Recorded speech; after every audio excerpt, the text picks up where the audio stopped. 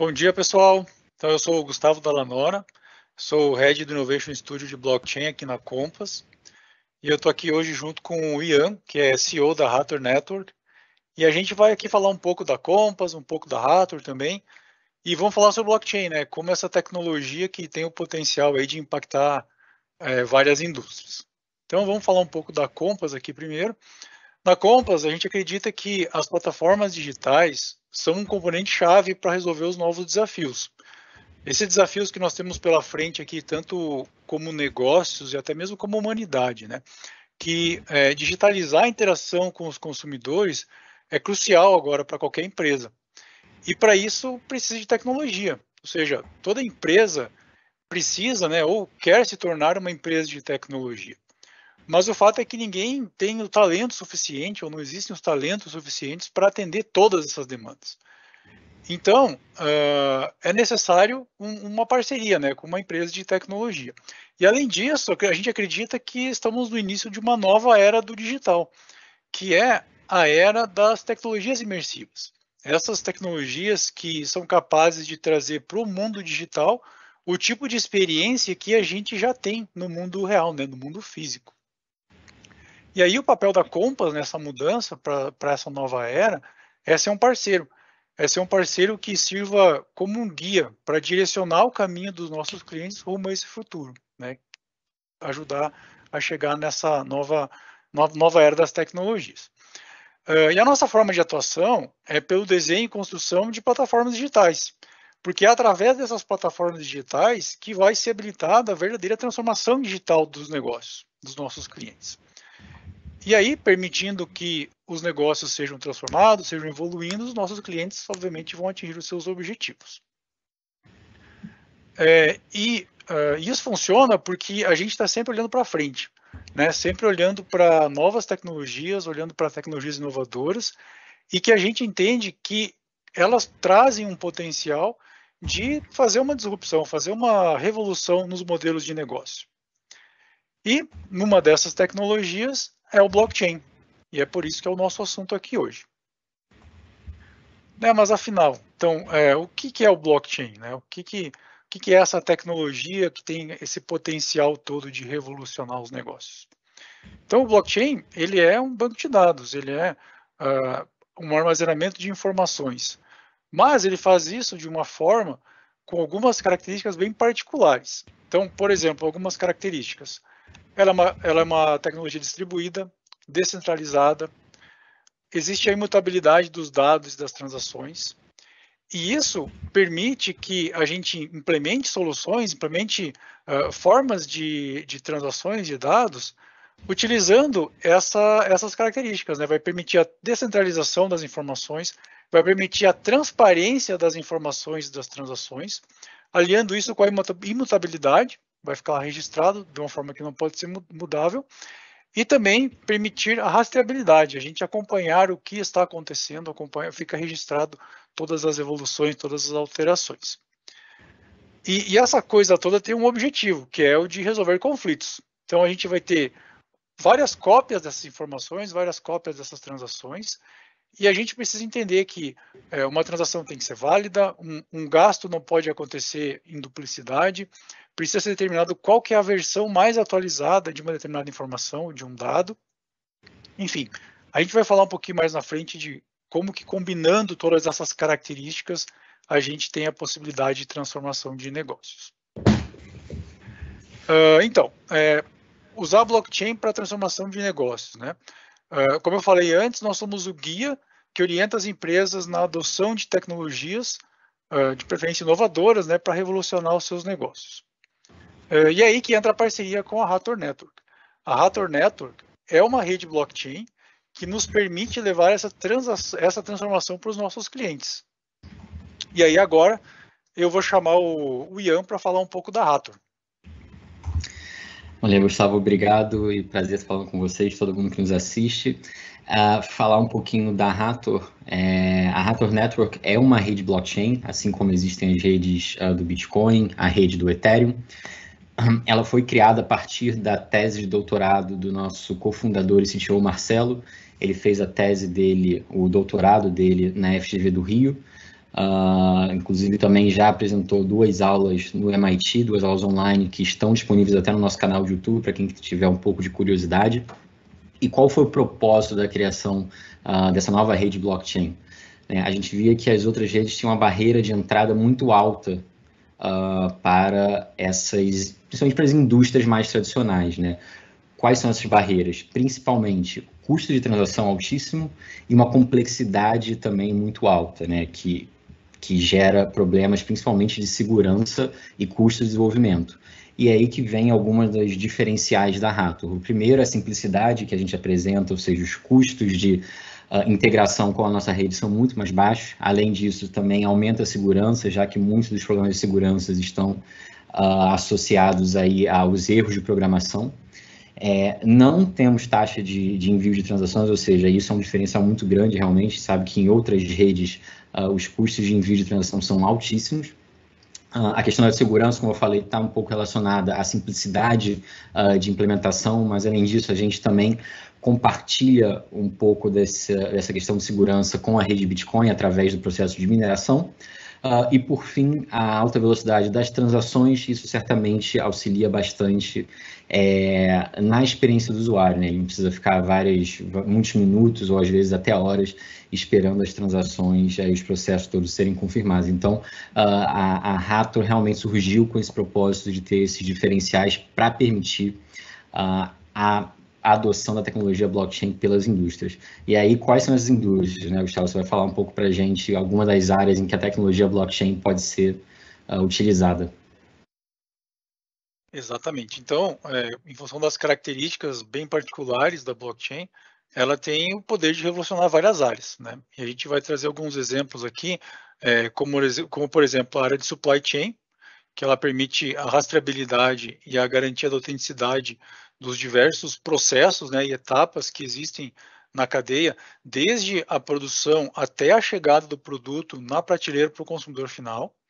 Na área de finanças descentralizadas, né, o DeFi, é, com o objetivo de facilitar acesso a crédito, diminuir burocracia, principalmente derrubar fronteiras, né, utilizando a tecnologia blockchain. Uh, na área de, de real estate, que é o, questões imobiliárias, né, facilitar acesso a capital para empreiteiras, uh, isso tudo sem ter que depender de grandes entidades que acabam cobrando taxas para viabilizar esses investimentos, né, viabilizar essas transações. Uh, e também um, um, ponto positivo aqui é a questão de reduzir o processo, o tempo, a burocracia que leva para conseguir viabilizar esse tipo de transação. A gente tem também na área da, da auditoria, né, ajudar aí a combater fraudes, impedir manipulação, adulteração, repúdio de informações. Uh, indo aqui para a área de gaming agora, que já é um mercado bastante acostumado com itens digitais né, nas plataformas dos jogos, uh, e pode se beneficiar aí com uma maior liquidez para compra e venda desses itens, usando blockchain, permitindo que os jogadores, aí, os gamers, consigam, entre eles, né, fazer transações peer-to-peer, -peer, uh, sem depender de uma plataforma centralizada para isso.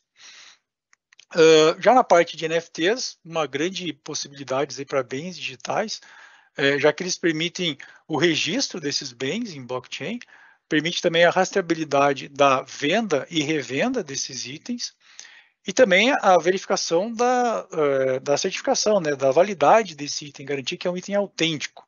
Isso tudo de forma digital e imutável. E aí, obras de arte, ou música, ou enfim, uh, criações em geral podem ser utilizadas, uh, podem fazer uso dessa tecnologia, né? E lá na frente os criadores podem, uh, vai facilitar o recebimento de, de royalties, então acompanhando aí a, né, mercado secundário de venda, revenda, enfim. então esses aqui seriam algumas áreas, assim, né, um aspecto mais geral, assim, onde o blockchain pode trazer uma transformação. Uh, e agora eu vou convidar o Ian para dar um, uns exemplos bem práticos nessas indústrias aqui de como que a gente vê que pode uh, trazer um, um, benefício, uma revolução. Só adiantando um pouquinho, no final a gente vai ter uma, uma sessão para perguntas e respostas. Então, conforme for passando, vocês podem largar as perguntas ali no chat que no finalzinho a gente vai, é, vai conversar um pouco. Então, vai lá, Ian. Beleza, obrigado, Gustavo. É, você falou aí das diversas áreas em que a blockchain pode, pode ser útil e a gente quer focar aqui nesse webinar especificamente na parte de supply chain de rastreabilidade, né? É, por que a gente quer fazer isso? A gente sabe que algumas das indústrias ainda estão mais, não estão tão maduras, ainda dependem um pouco de regulamentação, e a gente quer dar exemplos bem reais. Sabemos também que esse mercado de cripto e blockchain tem um pouco essa questão de ser ainda serviço só para especulação financeira, algumas pessoas têm essa ideia, e a gente quer mostrar que não, é uma tecnologia pronta e pode ser utilizada agora, então vamos falar aí de três mercados e problemas é, bastante comuns aí que nós vivenciamos uh, e depois como a tecnologia blockchain uh, ajuda a resolvê-los, né? O primeiro, a gente vai falar um pouco sobre a questão de concessionárias de carro, de revisões uh, e revenda de carros usados. Depois, falar sobre o combate ao contrabando e pirataria de produtos, ou seja, a questão de produtos falsos, que a gente sabe que movimenta bilhões de reais anualmente. Uh, e, por fim, vamos falar também de como as empresas de alimentos podem trazer mais transparência para os seus consumidores. Ou seja, de novo, assuntos bem atuais que nos afetam, seja no âmbito de trabalho, como tomadores de decisão, e principalmente como consumidores desses produtos. Vamos lá. O primeiro, nas concessionárias de carro. Né? A gente sabe que os donos de carro nem sempre fazem as manutenções uh, em prestadores oficiais de serviço. Né? mesmo os que fazem também nem sempre vão nos mesmos prestadores de serviços, vão em diversas oficinas diferentes. Né? Por outro lado, os carros que têm uh, as revisões oficiais, né, sempre fazem nas concessionárias, deveriam ter um preço de revenda maior. Mas a gente sabe que nem sempre é o caso por uma falta de confiabilidade nesse processo, certo? Né? Mas agora, imagina se existisse um registro imutável né, do histórico real do carro. É, eu mesmo tive esse problema recentemente quando fui comprar uma moto e queria ter, ter certeza que ela estava coberta né, pela garantia e tinha que ver qual era o histórico de revisões, né? ainda tem uma desconfiança de comprar de um terceiro que você não conhece, mas né, tendo um registro imutável do histórico dessas todas as revisões que foram feitas em oficina ou não, é, certamente ajudaria a, a, resolver essa desconfiança. E aí todas as partes envolvidas ganham, né? As concessionárias ganham porque vão ter mais serviços e os consumidores ganham, tanto o revendedor, que vai poder uh, ter um preço mais alto pelo veículo, quanto o comprador, que vai ter mais confiança na hora de comprar aquele veículo. Então, um primeiro exemplo aí uh, que a gente vai falar depois como a blockchain pode ajudar. Uh, o segundo exemplo é na parte de autenticidade né, trazer aqui alguns dados do Fórum Nacional de Contra Pirataria e Ilegalidade. O contrabando somente de cigarro move mais de 13 bilhões de reais por ano. Né? Isso aí prejudica certamente as empresas dessa, desse setor, que não vendem tanto quanto poderiam, prejudica o governo, que não arrecada os impostos em cima disso, e principalmente o consumidor, porque não sabe se está consumindo um produto original, ainda mais nesse caso de cigarro, que está relacionado à saúde. É, e a gente sabe também que isso não se restringe só à indústria de cigarro, também na caso de remédios, de bebidas e artigos de luxo como bolsas, óculos e relógios, isso também acontece com bastante frequência. Né? É, agora, imagina se o consumidor pudesse verificar de forma fácil se um produto é original. Né? E se esse consumidor também se tornasse o principal fiscalizador da autenticidade dos produtos. E certamente seria um benefício para todos os envolvidos. A gente sabe que esse é um tema bem presente, né? O sul do Rio, indo lá no centro do Rio, né? O pessoal de São Paulo também, do centro de São Paulo, a gente vê a movimentação uh, que gira esse mercado de produtos falsos. Então, outro tema aí bastante presente no nosso dia a dia e que pode, pode ser uh, resolvido ou pode ter uma ajuda da blockchain é, para melhorar. Por fim, falar sobre a origem dos insumos uh, de alguns produtos. Esse é um tema bastante atual, está em alta. Né? A gente sabe que os consumidores, cada vez mais, eles querem saber a origem dos ingredientes e dos materi materiais usados nos produtos que eles consomem, né? não só para garantir a qualidade deles, mas também por cuidar do meio ambiente, sociedade, como toda essa cadeia de produção uh, é cuidada. Né? Esse tema de ESG está é, tá, tá bastante alto e domina todos os tops aí de empresas.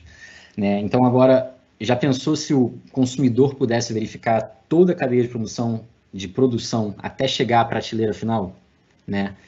E se a sua própria empresa também ela pudesse fazer transparência sobre todos os processos e a origem dos ingredientes e produtos, de forma simples e clara. Né? As empresas pioneiras né, nesse tipo de, de informação, de acesso à informação, certamente vão se diferenciar e ganhar mais mercado. ou então elas vão poder, vão ter um aumento na percepção de valor dos produtos delas, né? É, certamente são, são tópicos é, bem comuns no nosso dia a dia, né, esses três que a gente acabou de citar, e são alguns poucos exemplos, obviamente não é uma lista completa, tem diversos outros que podem se beneficiar disso, a gente sabe que essa parte de supply chain, ela toca basicamente todas as indústrias, a gente acredita que nessa parte do supply chain, a blockchain, a blockchain realmente uh, traz um diferencial competitivo bem grande, e aí o Gustavo agora vai falar para a gente como que uh, isso acontece. Exatamente. Então, é, então, olha só, a gente tem três exemplos de aplicação prática mesmo, né? Que é coisa que a gente vê no dia a dia. É, não tem nada a ver com especulação financeira, com loucura das criptos que sobe e desce, enfim, são, é, são casos de aplicação da blockchain para situações que transformam o relacionamento com o cliente, né? Uma forma é, de chegar no cliente, do cliente estar ali mais presente, mais próximo do processo todo. Uh, e aí você deve estar se perguntando, tá, mas e como que a blockchain resolve esses problemas, né? Por que, que ela resolve esses problemas? Eu não posso usar um, um selinho aqui de papel moeda para garantir autenticidade, um banco de dados normal aqui para guardar as informações. Então, uh, eu vou falar aqui alguns aspectos da blockchain que ela uh, realmente resolve esses problemas de uma maneira diferente, resolve esses problemas de uma maneira muito particular. Né? Então, eu vou falar da criptografia, da descentralização, e, por fim, da, da rastreabilidade. Então, é, começando com a criptografia. Então, usando é, operações criptográficas, é que é garantida a transparência e a imutabilidade dos dados. E isso é fundamental, né, para você avaliar a autenticidade daquele dado. Você tem que garantir que aquele dado não foi alterado, que ele é conhecido, que ele é é, que ele está ali registrado. Né? Então, são operações matemáticas, cálculos, usar a chave privada, a chave pública, que vai trazer essa robustez, essa inviolabilidade do que está lá registrado. É, e no, no, fim do dia não tem um acesso administrador, um acesso privilegiado, ou alguém que tem a chave, né, que vai lá e pode modificar, ou pode alterar, ou pode uh, excluir um dado que estiver lá registrado. Isso simplesmente não é possível por causa dessa camada de, de criptografia. Então, com isso, você garante que um produto não é clonado, por exemplo, que uma, né, uma determinada informação registrada lá não foi duplicada, não foi excluída. Então, uh, existe essa barreira intransponível da criptografia que não permite que esses dados sejam alterados ou sejam é, sobrescritos. Né? Uh, agora, a questão da, da descentralização. É, isso significa descentralizado, né? Significa que a informação não está num lugar só. Né? Além de estar distribuída em vários lugares, é, o que vai garantir confiabilidade e a disponibilidade dessa informação. Né? Você não tem um ponto único de falha para aquela uh, para aquela informação. Uh, e isso dá a segurança de que a informação vai estar na rede para sempre, ela não vai ser excluída, não vai deixar de estar lá. E isso acontece principalmente porque não está sob controle de alguém em particular. Não tem uma empresa, uma entidade, né, alguém que está lá mantendo aquela informação disponível. É a comunidade da rede, é são os nós da rede, são os validadores, são todos os participantes daquela rede que mantém as informações disponíveis. Né, então ninguém pode apagar esses dados. Né? Uh, por exemplo, um site que deixa de existir, né? A empresa resolve descontinuar aquele serviço, resolve tirar o site do ar, é, por N motivos. Tudo que a gente colocou naquele site fica perdido porque o site foi desligado, né? Os dados estavam lá sob, é, sob a guarda ou sob a proteção daquela empresa que mantinha o site. Uma vez que o site uh, é retirado do ar, a gente perde essas informações todas aí. E aí, pegando um exemplo da concessionária, né? Se fechar a concessionária, é, você ainda vai ter acesso à informação sobre a revisão do seu carro, porque está lá registrado na blockchain que foi feita a revisão, né? vai depender da concessionária. Uh, por fim, na rastreabilidade, então os dados ali na blockchain ficam sempre é, interligados, né, entrelaçados ou encadeados de uma forma ligados uns aos outros, né, uh, o que permite que a gente construa uma, uma cadeia né, de rastreabilidade de tudo que está relacionado ali, fica uma, é, né, daí que vem o chain, a corrente, então fica tudo interligado, tudo é, rastreado. E às vezes fica uma, uma dúvida, né? Uh, mas peraí, se a, se a blockchain é imutável, eu não posso mudar. como que eu vou então é, atualizar a situação de uma informação? Como que eu vou atualizar que o carro teve a revisão? Como que eu vou atualizar lá no supply chain que o produto chegou na, na cadeia, né? chegou no, no supermercado para venda, por exemplo? Então, a questão é que a, a informação fica lá registrada e ela não pode ser apagada, mas a próxima informação, né, a informação mais recente, vai uh, dar, vai dar essa informação de que o processo está evoluindo e que os passos estão acontecendo. Então, você vai ter um registro ali, um depois do outro, de tudo o que aconteceu, né, sinalizando uh, a passagem de processos, atualização de situações, etc. E aí, com isso, a gente pode acompanhar exatamente o que era em determinado momento e como está agora, né? Então, fica uh, esse histórico, fica esse registro, fica ali uh, tudo registrado. E não pode ser mais alterado. E um benefício disso é que ele se torna auditável. Então, a partir do momento que você tem todos os dados ali, eles não podem ser alterados, todas as, a evolução daquela, daquela transação, daquele dado fica registrado, você pode auditar isso, você pode verificar se aquela se, aquela, se aqueles dados fazem sentido, se eles estão corretos. Né? Uh, e aí você então juntando essas três, uh, esses três itens, né, a criptografia, descentralização e a rastreabilidade, uh, você vai ter lá informações mantidas de uma forma muito robusta, distribuída, que nunca vão ser apagadas, com a rastreabilidade de tudo que é inserido e atualizado, tudo isso garantido por uma criptografia forte, que vai, que vai né, garantir a inviolabilidade dessas, uh, dessas informações. Então é assim que a blockchain resolve essas dores todas aí como nenhuma outra tecnologia. Muito bem. Uh, e agora eu vou devolver para o Ian para ele falar um pouquinho mais da blockchain da Rato em específico. É, claro, assim, a gente é convidado aqui, não podia deixar de fazer um pouco de propaganda aqui sobre a Rato, né? Mas a gente entende que temos todas as características para atender esse tipo de projeto, né? Primeiro, é, pela processar um alto número de transações, especialmente para essas indústrias, tem muitos eventos, né, toda essa cadeia de rastreabilidade que querem construir, né, a gente consegue processar um grande volume de dados. É, além disso, esse grande volume de dados pode ser processado sem custo de transação. Né? Então, imagine em outras redes você fazer milhares ou milhões de transações ao longo dos anos, uh, mesmo que esses custos sejam pequenos, né, isso vai se acumulando. Né? Acaba que esse custo uh, sai do controle. E, por fim, não menos importante, é a simplicidade, facilidade de implementação.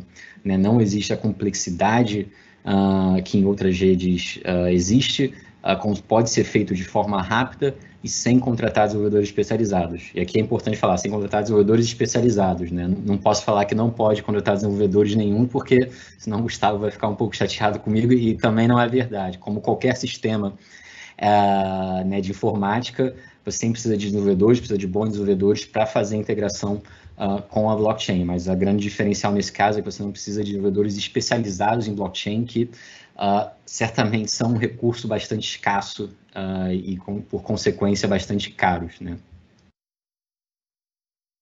Exatamente. E aí, com, com, certeza, né? A, a, a, utilização da blockchain da Hathor facilita bastante o nosso, o nosso desenvolvimento.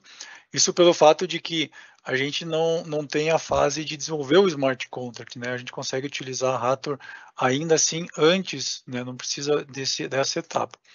E, e, isso conecta com, com aquela questão que eu comentei lá no começo, da escassez de talentos. Então, nós precisamos, a indústria de tecnologia toda é, é preocupada com isso, né? É, um, é, é uma dor da indústria, então, uh, facilitando o desenvolvimento, a gente consegue ter uma preparação, uma, uma, curva de aprendizado menor das pessoas, então a gente consegue capacitar desenvolvedores mais rápido, né, sem ter uh, que ter mais essa, essa especialização, e aí acaba facilitando, como toda a implementação, né, uh, os testes, as validações, então tudo isso fica, fica simplificado. Mas o desafio da transformação ainda é grande, então sobra muita coisa para fazer ao redor, né? Conectar todos os, os, sistemas, conectar todos os pontos de contato com o cliente com, é, com a blockchain. E aí é importante uh, ressaltar aqui que essas, uh, esses casos que a gente trouxe aqui são, são coisas para hoje, né? não é pensando no futuro, são coisas que a tecnologia está pronta para usar hoje, é, não precisa de nenhuma regulação específica, não, é, ou, ou, alguma aprovação legal para começar a utilizar, não tem, não tem essa necessidade. É, e, e, essa, e, é uma evolução, né? É uma, é traz um enorme valor para as empresas, para o consumidor e para a sociedade como um todo, a, a gente conseguir ter essa melhor transparência, essa garantia de, é, de origem dos produtos, garantia da autenticidade. É, justamente a gente trouxe é, esses pontos aqui específicos desse só mercado, você já citou vários no início da apresentação, uh, que a blockchain pode ser utilizada, mas, e a gente provavelmente vai ter outros webinars aí falando sobre alguns deles também, né, mas a gente quis trazer esses porque pode ser aplicado imediatamente, né, a gente ouve bastante que blockchain é tecnologia do futuro, a gente fica com a ideia que são daqui a 5 ou 10 anos, só que essa tecnologia vai estar pronta, mas não, a tecnologia está pronta agora, a, a rede da Rator está pronta agora, a Compass está capacitada, consegue desenvolver projetos, então o projeto pode sair já esse ano, não, tem, não é questão de tecnologia do futuro nem nada disso, é tecnologia de agora já. Legal, é isso aí. Uh, acho que vamos para as perguntas aqui então. Deixa eu dar uma olhada como é que estão as nossas perguntas. Tem bastante. Bom dia, bom dia. Link do YouTube, acho que o pessoal vai compartilhar o link com vocês aí. Uh, então aqui, principalmente para o mercado financeiro, ainda há muitas barreiras de regulação para a adoção da tecnologia blockchain. Quais são as perspectivas para o futuro? Ian, quer comentar um pouquinho? Claro, é, o que a gente estava falando agora, né? Tem alguns mercados ainda que a tecnologia vai demorar um pouco mais para ficar madura, para ser aplicada, depende de regulação.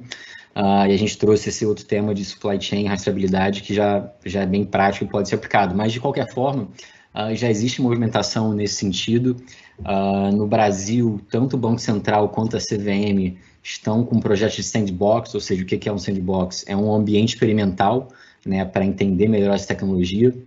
Uh, a agente da Rator, né, a Rator Network, uh, é uma rede que está sendo usada no projeto da Vortex QR, é o primeiro projeto uh, nesse sentido que, que é regulado no Brasil, aprovado pela CVM, no sandbox da CVM, uh, e faz a emissão de debêntures. O Banco Itaú fez a emissão de debêntures, tem mais de 100 milhões de reais emitidos em duas ou três emissões, aí para os próximos meses vão continuar emitindo mais.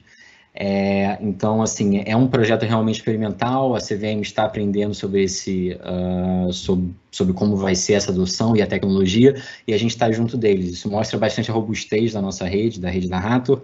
Uh, a gente teve reuniões, explicou para ele a parte de tecnologia e tudo isso, mas uh, realmente é algo que ainda, nessa parte financeira, bastante experimental e que está sendo entendido pelos órgãos reguladores, mas a gente está, estamos ligados e estamos juntos nesse processo. Legal, muito bem. Tem uma outra aqui. Uh, eu vejo aí que uma vez por semana tem roubo de empresas, dinheiro que some nas blockchains. Como esses riscos podem ser mitigados?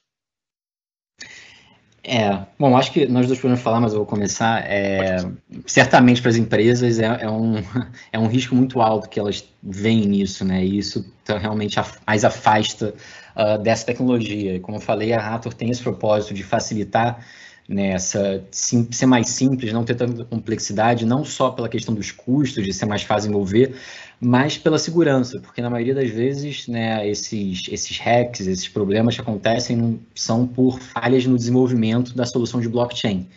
Né? Então, a Rato, por ser mais simples, por já entregar né, uma solução pré-pronta e que precisa só de algumas configurações, alguns parâmetros para ser integrada na solução do cliente final, ela reduz muito esses riscos né, de ataques ou, riscos de falhas uh, que existem em outras redes. Então, é, isso daí realmente reduz bastante, mas nada disso importa também se não tiver bons uh, desenvolvedores aí do seu lado para fazer o sistema. Exato, eu vou, vou, complementar também um pouco aqui. É, é, é isso aí, a gente uh, observa que essas, essas vulnerabilidades, né, o que acabam sendo explorados aí nas situações, não está necessariamente ligado com a tecnologia blockchain, com, a, com essa questão da, distribui, da distribuição, da imutabilidade, da criptografia, né? É, é uma questão muito mais relacionada com os sistemas que estão em volta, porque é, além da blockchain, para você entregar uma solução né, end-to-end -end que, que faça todo, é, todas as funcionalidades que precisa, você vai ter lá APIs, vai ter servidores, vai ter aplicativo no celular, então, tem que ter uma preocupação com segurança que vai além da blockchain, né? tem que contemplar tudo que está envolvido na solução. E você vai ter questões de gestão de chave, de é, análise de vulnerabilidade, tudo que for desenvolvido, você tem que avaliar. E aí, para isso, a gente conta com um time aqui do estúdio de Cybersecurity, que é focado em segurança, em garantir que os nossos projetos aqui estão seguindo as melhores práticas de segurança, que é, são feitos testes para validar a segurança, enfim, né? Uh, e aí tem, tem, a questão do smart contract também, que a gente observa que muitos bugs acabam sendo descobertos por falhas de codificação do smart contract. Uh, e aí é por isso que a gente vê na Rator uma ótima alternativa, né? Porque não é necessário implementar o código do smart contract.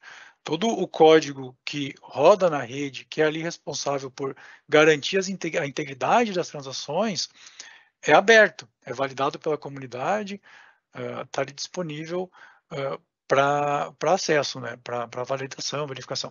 E isso acaba reduzindo bastante a possibilidade de ter um bug, né, como uh, a gente vê no, no software de, de, código aberto, que as pessoas participam ali, né, tem uma, uma validação, uma verificação muito maior. Deixa eu ver o outro aqui. Por que a Compass e a Rato resolveram fazer essa parceria? Não sabia que a Compass tinha esse serviço. Vou, vou começar essa aí. Então, é, a gente tem né, essa missão aí de é, levar as melhores tecnologias para os nossos clientes. E aí, então, chegou um momento que a gente olhou para a blockchain e percebeu, não, essa aqui é uma tecnologia que vai trazer um impacto real de negócio, né, no negócio dos nossos clientes. E o nosso papel é justamente esse, conectar os nossos clientes com as tecnologias. Uh, e nesse caso, a gente enxerga que a Rator tem, né, prover essa tecnologia que a gente pode levar para os nossos clientes quiser é, assim, do, do, do, nosso lado, justamente, eu repeti algumas vezes aí durante o webinar, uh, a gente fala que a Rato você não precisa de desenvolvedores especializados, mas como qualquer sistema de informática, você precisa de desenvolvedores, de bons desenvolvedores, né? E a Compass certamente tem isso. A gente sabe que acho que são mais de 20 anos, né, Gustavo, que vocês, que vocês atuam. Uh, tem uma carteira muito grande de clientes, de clientes grandes, empresas grandes, robustas, que confiam no serviço de vocês e a gente entende que é um ótimo parceiro para a gente conseguir a adoção da tecnologia blockchain uh, nesse, nessas indústrias no, no mundo empresarial. Legal. Tem, uma, tem um outro caso aqui. Bom, bom dia. Gostaria de saber onde os smart contracts são executados. O código fica armazenado na blockchain e nos e os nós executam? Eu acho que é isso. Se quiser comentar um pouco também. Claro, é, no caso tradicional, sim, é isso. A, o código smart contract ele, ele fica na, na rede, digamos assim, né, como o Gustavo explicou, é distribuído, ou seja, todos os participantes da rede têm esse mesmo código, essa mesma informação, e todos executam smart contracts, mas no caso da Rator, a gente tem uma, a gente simplifica isso, temos já contratos pré-prontos e mais fáceis de serem configurados, não precisa de uma programação muito específica, é justamente a nossa, o nosso diferencial de ser mais simples. Mas de qualquer forma, é, isso é executado por todos nós na rede, é justamente a parte de, de, de ser descentralizado e distribuído. Legal, muito bem. Aí tem uma outra aqui, como funcionam os validadores das transações na rede Rator? Uh, claro, a gente, a gente usa mineração também, uh, similar ao Bitcoin, então a gente tem os mineradores que fazem trabalho para dar segurança na rede, né, validam todas as transações, produzem blocos é, e são recompensados por isso. Eu, eu, comentei ali também rapidamente na apresentação, a gente compartilha um pouco da segurança do Bitcoin, a gente faz uma mineração, posso dizer, conjunta ao Bitcoin, temos bastante dessa, dessa segurança uh, da rede do Bitcoin. Legal, tem mais um. Aqui tem uma que pergunta se é Proof of Work ou Proof of Stake, né? Como a gente já comentou aqui, seria o Proof of Work. Exato. Uh, outra pergunta sobre contratos inteligentes. Uh, porque depende de regulação. Basicamente, né, acho que já, já, a gente já comentou aqui a questão de que existem mercados onde existe a, a regulamentação. Então, é, independente de você usar blockchain ou você usar qualquer tecnologia para você está habilitado a participar desse mercado ou dessa, uh, desse modelo de negócio, você precisa da, da regulamentação. Se quiser complementar alguma coisa, Ian? Não, justamente isso. É, principalmente o que cai sobre a supervisão da CVM, né? Você não, as pessoas não podem colocar qualquer tipo de ativo na rede blockchain sem nenhuma sem nenhuma restrição. Alguns, alguns tipos de ativo eles são regulados pela CVM e aí precisa é, de, de, de, autorização deles. É justamente o que eles têm, têm feito lá no sandbox, no ambiente experimental, uh, para entender melhor essa tecnologia e como podem regular esse mercado.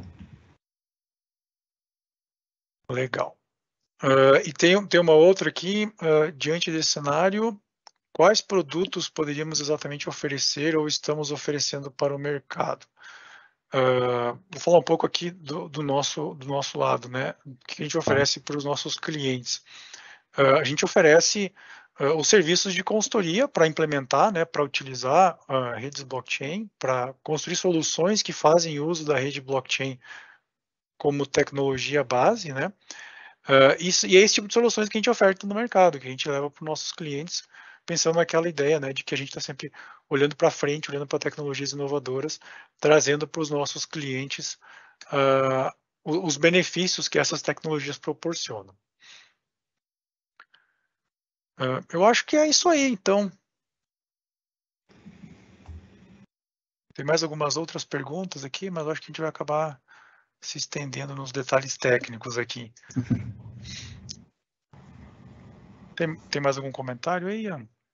Não, Gustavo, só, só agradecer mesmo pelo convite. Acho que em breve fazemos alguns outros falando sobre outras indústrias, mas acho que é bem legal a gente destacar realmente é um, esse, esse que a gente trouxe aqui é justamente soluções aplicáveis hoje que podem começar.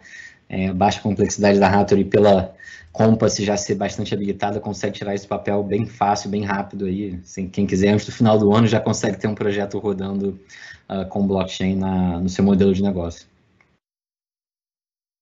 Legal, isso aí. Então, pessoal, é isso. Essa é a mensagem que a gente queria passar aqui para vocês hoje. Tomara que a gente tenha conseguido aí ajudar a passar um pouco mais, melhor, né, qual é o valor que a gente já consegue hoje disponível usando usando blockchain, né, que já consegue gerar hoje. A gente trouxe aqui três exemplos, mas existem várias possibilidades, né? Então tem muita coisa aqui que a gente poderia trazer, mas a gente uh, optou por focar em alguns aqui. E aí, se você ficou interessado, tiver dúvida, quiser explorar algum outro case uh, que seja de pouco diferente, mas também que uh, tenha essa questão de né, aproveitar alguns desses benefícios da rede, a gente está à disposição. Tem o nosso time técnico, time comercial, não hesitem em entrar em contato, mandem suas dúvidas e estamos aí. Obrigado, Gustavo. Prazer.